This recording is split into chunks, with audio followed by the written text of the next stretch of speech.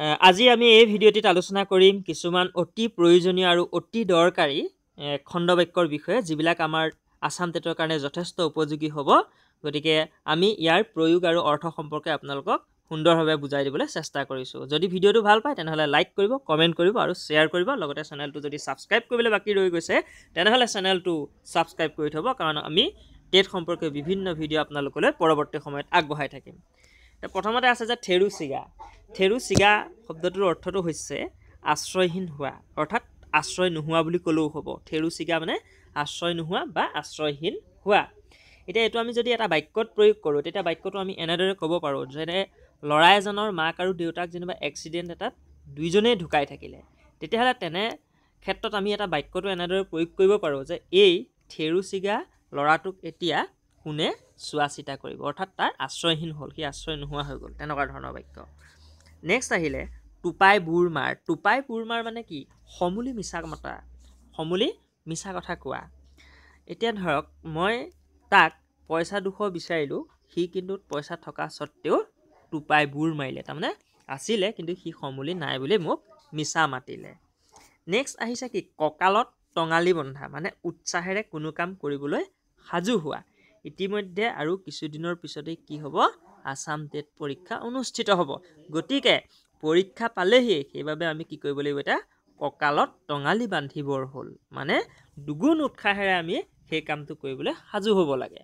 Next আহিলে চাউল উঠ বা চাউল উঠা। তাৰমানে জীৱিকাৰ উপায় প্ৰায় শেষ হৈ যোৱা।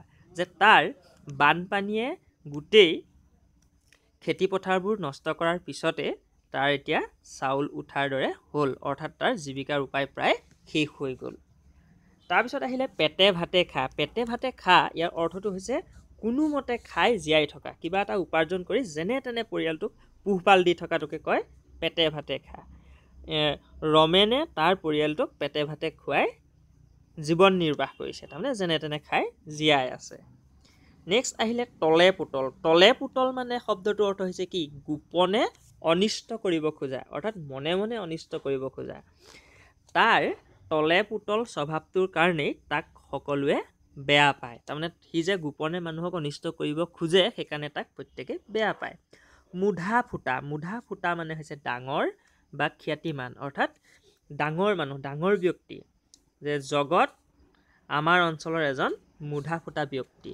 এনেধৰণৰ বাক্যটো গঠন কৰিব পাৰি। গাজত লগা অন্তৰত আঘাত কৰি কোৱা কথা। এতিয়া মই এতিয়া যেনিবা মই ইউটিউবত এতিয়া বিভিন্ন ধৰণৰ ভিডিঅ' আপোনালোকলৈ আগবঢ়াই আছোঁ। তাতেই কিছুমানে এনেকুৱাকৈ কমেণ্ট কৰে মোৰ একেবাৰে গাজত লাগি যায় অৰ্থাৎ মোৰ অন্তৰত আঘাত লাগি যায়। কাঠচিতীয়া কাঠচিতীয়া মানে হৈছে নিষ্ঠুৰ নিৰ্দয় যাৰ কোনো হৃদয় নাই। হৃদয়হীন বুলিও ক'ব পাৰি ইয়াক গতিকে কাঠচিতীয়া কাঠচিতীয়া মানুহক সকলোৱে বেয়া পায়। তেনেকুৱা ধৰণৰ বাক্য ইয়াত গঠন হ'ব পাৰে। মুখ হাত ধোৱা। মুখ হাত ধোৱা মানে হৈছে আশা এৰা। যে ইতিমধ্যে আমি কি কৰিলোঁ? বিভিন্ন কাম এটাত কিবা কাম এটাত আমি অংশীদাৰিত্ব হৈ আছোঁ কাম এটা কৰি আছোঁ। কিন্তু দেখিলোঁ যে সেই কামটোত আৰু মই সফল হ'ব নোৱাৰিম। গতিকে আৰু মই এতিয়া কি কৰা ভাল হ'ব? মুখ হাত ধোৱাই ভাল হ'ব। তাৰমানে সেইটোক আমি আশা বাদ দিয়াই ভাল হ'ব। নেক্সট আহিলে যক্ষৰ ধন। যক্ষৰ ধন মানে হৈছে কৃপণৰ ধন। গতিকে যক্ষৰ ধনলৈ আশা কৰি লাভ নাই। তাৰমানে কৃপণৰ পৰা যেতিয়া তুমি ধন উলিয়াব পাৰিবা সেই কথাটোত আৰু আশা কৰি থাকি লাভ নাই। লেক্লৌ পৰুৱা। লেক্লৌ পৰুৱা মানে হৈছে কি? দীঘলীয়া শাৰী। এইবাৰ আমাৰ অঞ্চলত দুৰ্গা পূজাত কি হৈছিলে? মানুহবিলাক ইমানেই আহিছিলে একেবাৰে লেক্লৌৰ পৰুৱাৰ নিচিনা দেখা গৈছিল। অৰ্থাৎ একদম দীঘলীয়া শাৰী তাৰমানে। সেইটোকে কোৱা হয় লেক্লৌ পৰুৱা বুলি। ডুম জ্বৰ। ডুম জ্বৰ মানে হৈছে কি? অজান শত্ৰু। অজান শত্ৰু। তাৰমানে নজনাকৈ অহা শত্ৰু। অৰ্থাৎ ডুম জ্বৰ মানে কি? ডুম জ্বৰটোকে কি বুলি কোৱা হয়? অজান শত্ৰু বুলি কোৱা হয়। তাৰপিছত আহিলে এসুতৰ কাজি। এসুতৰ কাজি মানে হৈছে পাকৈত শিপিনী। ৰোহনৰ মাক একেবাৰে এসুতৰ কাজি। তাৰমানে কি? এজনী একেবাৰে পাকৈত শিপিনী। নেক্সট আহিছে তপত ভাপৰ ধোঁৱাই ধৰা। তপত ভাপৰ ধোঁৱাই ধৰা মানে হৈছে সামান্য কষ্ট কৰিব নোৱাৰা মানুহ যে সি তাক মই এই সাধাৰণ অংককেইটাকে কৰিবলৈ দিলোঁ বা এই সাধাৰণ কিবা কাম এটাকে কৰিবলৈ দিলোঁ কিন্তু সি যেন টপত ভাপৰ ধোঁৱাই ধৰাৰ নিচিনা কি কৰিলে ব্যৱহাৰ কৰিলে। অৰ্থাৎ সামান্য যেন কষ্টকে সি কৰিব যেন নোৱাৰে সেইটো মোৰ আগত কি কৰিলে প্ৰদৰ্শন কৰিলে। আপোনালোকে মেইনলি ইয়াৰ অৰ্থবিলাক চাব কাৰণ আমাৰ যিহেতু বাক্য ৰচনা কৰিবলৈ নাহে পৰীক্ষাত বাক্য ৰচনা কৰিবলৈ নাহে পৰীক্ষাত যিহেতু আমাক হয়তো কি দিব খণ্ড বাক্যটো দি তাত কেইবাটাও অৰ্থ দিয়া থাকিব তাৰ ভিতৰত কোনটো প্ৰপাৰ এনচাৰ হ'ব সেইটো আমি চিলেক্ট কৰিব লাগিব। গতিকে আমি কি কৰিব লাগিব ইয়াৰ অৰ্থসমূহ জনাটো অতি প্ৰয়োজন। কিন্তু মই আপোনালোকক অৰ্থৰ সৈতে এটা এটা বাক্য এইকাৰণেই গাঁথনি কৰি দিছোঁ কাৰণ তেতিয়া আপোনালোকে ইয়াৰ অৰ্থবোৰ সুন্দৰভাৱে বুজিব পাৰিব। নেক্সটলৈ আহিছোঁ। সান্দহ খোৱা বালিতল যোৱা। সান্দহ খোৱা বালিতল যোৱা শব্দটোৰ অৰ্থ হৈছে পূৰ্বৰ সুবিধা নোহোৱা হোৱা যে এই নতুন চৰকাৰখন অহাৰ পৰা এই দালালিবিলাকৰ সান্দহ খোৱা বালিতল যোৱাৰ দৰে হ'ল। তাৰমানে তেওঁলোকে কি কৰিব পৰা নাই এতিয়া? দুৰ্নীতি কৰিব নোৱাৰা হ'ল। অৰ্থাৎ পূৰ্বতে তেওঁলোকে যিখিনি কৰিছিলে সেইখিনি এতিয়া কৰিব নোৱাৰা হ'ল যেনিবা। ঠিক এইটো এটা উদাহৰণ তেনেকৈ দিব পৰা যায়। নেক্সট নাকত তেল দি খোৱা। নাকত তেল দি খোৱা মানে কি? কোনো চিন্তা ভাৱনা নোহোৱাকৈ থকা। একো চিন্তা ভাৱনা নোহোৱাকৈ থকা যে মেট্ৰিক পৰীক্ষা আহি পাবহিয়ে ল'ৰাটোৱে এতিয়াও নাকত তেল দি শুয়েই আছে।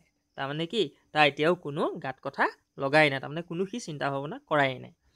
নেক্সট আহিলে খাই পাত ফলা। খাই পাত ফলা মানে কি? অকৃতজ্ঞ। অৰ্থাৎ যি উপকাৰীৰ উপকাৰ স্বীকাৰ নকৰে বা উপকাৰীৰ উপকাৰ পাহৰি যায়। সেইটোকে কোৱা হয় খাই পাত ফলা। যে তাক মই তাৰ দুখৰ দিনত ইমান সহায় কৰিলোঁ সি এতিয়া মোলৈ খাই পাত ফলা মানুহটোৱে এতিয়া মোলৈ ঘূৰিকে নোচোৱা হ'ল। তেনেকুৱা ধৰণৰ বাক্য ইয়াৰ পৰা গঠন কৰিব পাৰি। নেক্সট আহিলে চুঙাৰ বাদুলি। চুঙাৰ বাদুলি মানে হৈছে কি? বাহিৰ নোলোৱা মানুহ। কিছুমান এনেকুৱা ব্যক্তি আছে হয়তো ওচৰতে যিকোনো তেওঁলোকৰ ঘৰৰ ওচৰতে বিভিন্ন ধৰণৰ অনুষ্ঠান হৈ আছে কিবা হৈ আছে কিন্তু তেওঁ ঘৰৰ ভিতৰতে সোমাই আছে। অৰ্থাৎ কি? তেওঁ চুঙাৰ বাদুলি হৈ আছে। গতিকে কথাটো হ'ল চুঙাৰ বাদুলি হৈ থাকিলে পৃথিৱীখনত কি ঘটি আছে একোকে গম পোৱা নাযায়। তেনেকুৱা ধৰণৰ বাক্য গঠন হ'ব পাৰে। আৰু এটা অতি দৰকাৰী একাদশত বৃহস্পতি। একাদশত বৃহস্পতি মানে হৈছে কি? সৌভাগ্য উদয় হোৱা। এইবাৰ টেট পৰীক্ষাটো অনুষ্ঠিত কৰাৰ পিছত তাৰ চাকৰিটো হৈ গ'ল। গতিকে তাৰ যেন এতিয়া একেবাৰে একাদশত বৃহস্পতি হোৱাৰ দৰে হ'ল। গতিকে আপোনালোকে ভিডিঅ'টো চাই কেনে পালে কমেণ্ট এটা কৰিবলৈ নাপাহৰিব। যদি আপোনালোকৰ সহায় আৰু সহযোগ পাওঁ তেনেহ'লে অন্যান্য এনেধৰণৰ বিভিন্ন ভিডিঅ' আপোনালোকলৈ আগবঢ়াবলৈ চেষ্টা কৰিম। ধন্যবাদ। জয় অসম।